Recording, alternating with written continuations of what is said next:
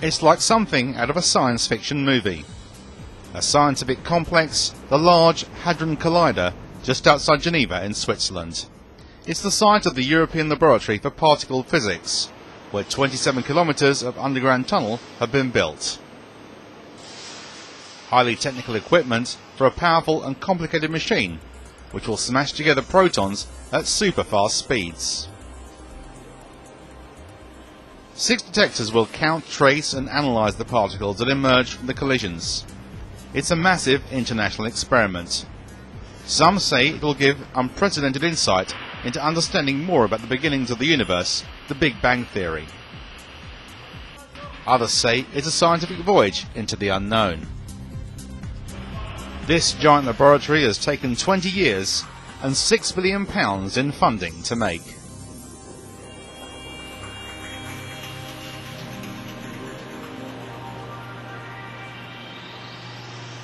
The Large Hadron Collider is the largest particle accelerator that's been built to date, and it will reach the highest energies so far.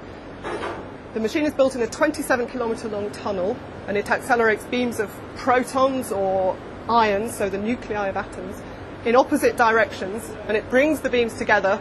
And there are four huge caverns housing particle physics experiments. ATLAS is one of those four experiments. Now we want to do this because when these beams collide together, they recreate the conditions last seen billionths of a second after the Big Bang. And the universe at this time was composed of the very fundamental particles that we want to study. So if we build large experiments around these collision points, we can take snapshots of the types of fundamental particles that were produced there.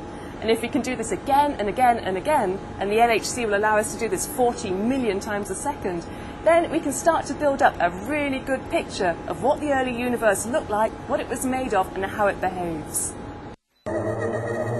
With just a week to go, the teams are on edge the world of physics may soon be taking on a new dimension.